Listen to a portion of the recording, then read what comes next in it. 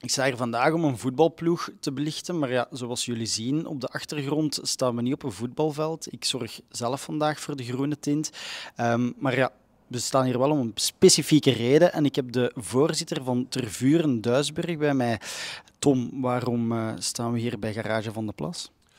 Um, wij staan hier bij Garage van de Plas omdat uh, wij een aantal sponsors hebben binnen de club, uh, waarvoor we bepaalde dingen kunnen terugdoen. Hè. Uh, al is maar een beenhouwer of een immobilienkantoor of, of whatever. Maar een auto natuurlijk te komen kopen is al iets minder. Dus vandaar dat ik dacht, het is niet al de gelegenheid om, ehm, om Garage van de Plas ook eens in de kijker te zetten en ehm, hier het interview af te nemen. Ja, en het gaat bij Tervuren even vlot als op de weg met een auto van Garage van de Plas, denk ik. Even vlot, uh, dat weet ik niet. Uh, dat zullen we uh, komende zaterdag zien als de competitie start. Want een voorbereiding is wat dat ze is. Maar op het moment dat de competitie begint, ja, dan, dan gaat het echt van start. En ja, dan, dan zien we waar we staan in feite. Want ja, een voorbereiding kunnen slechte doen en een goede competitie spelen, maar omgekeerd ook. Dus het is altijd koffie die kijken voordat de competitie begint maar afgelopen seizoen toch een onverhoopte promotie behaald en nieuwe accommodaties in het vooruitzicht. Dus ja, dat is toch niet slecht. Inderdaad, uh, zeer onverhoopt zal ik zeggen. Uh, als je met kerstmis uh, ja, bijna laatste of laatste staat, ehm, dat je ook een kern maakt naar dit jaar toe, gebaseerd op een P2-seizoen, laat dat duidelijk zijn. Ehm, en dan ja, door een prachtige tweede ronde te spelen in feite. Hè. Ik denk dat we ooit een keer, dat we bijna een keer tien op wedstrijden op een rij gewonnen hebben. En dan uiteindelijk nog die eindronde afgedwongen. Um, toch niet tegen de makkelijkste ploegen gevallen, hè, want we hadden toch een, een, een zware loting. Hè. We beginnen met Averbode, dat toch een van de titelkandidaten was, ook voor de eindronde. Dan Hoelaert, dat in de andere reeks titelkandidaat was, ook eindronde. En dan de laatste wedstrijd tegen Assezelik, uh, oké, dat was waarschijnlijk de mindere ploeg van de drie, uh, maar uiteindelijk hebben we het dan wel gehaald. En uh, ja, door ja, een echte onverhoopte ja, promotie in feite. Het was niet verwacht en ook niet ja, helemaal niet, uh, niet voorzien, zal ik zo zeggen. Ja. ja, en dan het nieuwe seizoen starten jullie ook met een nieuwe trainer. Van waar die keuze voor uh, Wesley Sokke? Bon, u, um, op het moment dat we Hubert Stas aangesteld hebben verleden jaar, hadden direct gezegd tegen ons, voilà, dat is hier een, uh, een interim job. ik kan dat niet, niet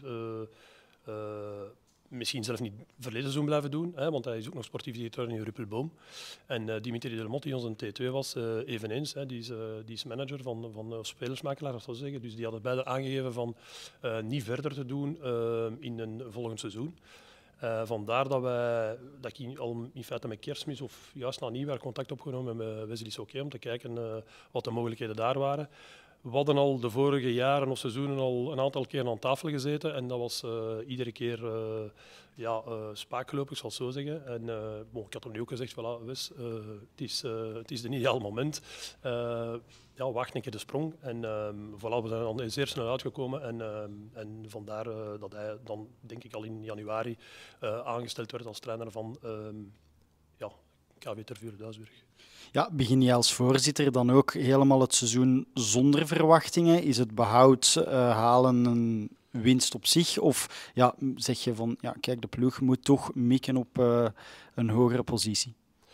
Um, ik denk dat het behoud uh, in eerste instantie het, het doel is. Hè. Um, wij hebben verleden jaar de kern samengesteld in januari, februari met het oog op een P2-competitie. we hebben in het tussenseizoen een aantal mogelijkheden gehad om bijkomende spelers te halen van een hoger niveau of, of, van hetzelfde niveau, maar uh, die wel een versterking krijgen. Uiteindelijk zijn die daar niet gekomen. Um, tot deze week in feite um, is, uh, hebben we gisteren nog Gio Ziwa van Tempo Overijse, die daar toch wel een groot stuk van de voorbereiding gespeeld heeft, maar daar ehm, ja, de, te horen gekregen heeft dat ze een bijkomende zes gingen halen. Um, heb ik die aangesproken en heeft hij uiteindelijk uh, gisteren of deze morgen bij ons getekend. En um, gisteren ook uh, mijn eigen zoon die bij Kampenhout speelde, is, heeft ook de overstap gemaakt van Kampenhout naar, uh, naar bij ons, omdat we ook centraal achteraan nog wat versterking nodig hadden. En bon, dat kader een beetje in de, in de, in de, in de optiek van de club, jong van de regio, ja, bepaalde kwaliteiten. En uh, voilà, ik denk dat we daarmee het seizoen kunnen starten, maar het, uh, de, de, ambitie is het behoud. En ja, bij voorkeur zo snel mogelijk natuurlijk, maar dat zullen we zien uh, zaterdag als de competitie start natuurlijk. Ja, dan kijk ik even naar de jeugd. Hoe is het eh, met de jeugd gesteld van Tervuren? Ehm, wij focussen echt op onze jeugd. Uh, wij zetten daar heel veel op in. Hè. Um, niet alleen uh, qua trainers, maar ook qua, qua, qua budgetten. Hè. Dus uh, daar is meer dan een evenwicht. Of ik zal zeggen, het helpt meer over naar de jeugd als naar, naar een eerste ploeg. Uh, zal ik zeggen, omdat wij nu vandaag, uh, en dat is al sinds enkele jaren in feite, dat wij zien dat we daarvan vruchten plukken. Dus ik denk dat wij vandaag in onze eerste ploeg, ik weet niet van buiten, maar toch een aantal uh, jonge gasten van, van eigen kweek in feite, hè, niet mannen die van Tempo komen of van, of van elders, maar echt van onze, eigen, van onze eigen jeugd, nu in de kern of zelf bij de elf zitten. En ik denk dat we daar moeten blijven op inzetten, om ook, om, ja, dat brengt wat volk mee, dan brengt een bepaalde ambiance. En ja, dus ook, we zijn een familiale club en we willen dat ook zo houden. Ja, dus die doorstroming zit dan ook oké.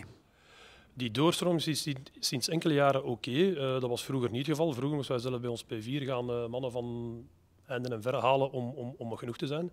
En nu um, worden die stilaan, um, allez, wordt, die kern helemaal gevuld en ook de U21 met uh, eigen spelers. En, ja, uh, en je ziet dat je daar vandaag de vrucht van plukt, want okay, in het begin was dat moeilijk hè, als, die, eigen spelers in de P4 kwamen, maar die worden nu ook wat rijper en je ziet ook dat die dan uh, effectief, niet allemaal natuurlijk, want dat kan niet, dat die wel de kans maken om ook in een eerste ploeg te evolueren. Ja, en jullie kunnen als groep, als ploeg, excuseer, blijven groeien, want ja, de nieuwe accommodaties in het vooruitzicht, ja, dat zal een extra boost met zich meebrengen, veronderstel ik. Um, dat zal vooral uh, qua, ja, qua planning zal dat wel wat makkelijker worden, want nu zitten wij met, uh, met een 300 of meer dan 300 spelers uh, op, een, op één locatie in Duisburg. daar is geen parking, ehm, daar zijn te weinig kleedkamers, et cetera. Daar is geen bestuurskamer, daar is geen vergaderzaal. wat we allemaal wel in onze nieuwe accommodatie gaan hebben. Ehm, waarvoor dank aan de gemeente ten andere. we hebben nog maar zeer recent een, een een werfbezoek gehad en bon, dat ziet er prachtig uit. En het is ook de bedoeling, ze beginnen uh, volgende week het gras in te zaaien. En het is de bedoeling dat we daar uh, de eerste wedstrijd na nieuwjaar effectief gaan spelen. Ja. ja. dan heb ik nog een laatste vraagje, voorzitter. Ja, wat is uw persoonlijke ambitie of wat hoop je nog te bereiken met Tervuren? Um, in voetbal moet je nooit op lange termijn kijken, want het kan rap uh, kantelen, zal ik zo zeggen. Dus ik zal zeggen, dit seizoen uh, zo snel mogelijk het uh, behoud afdwingen met onze P1.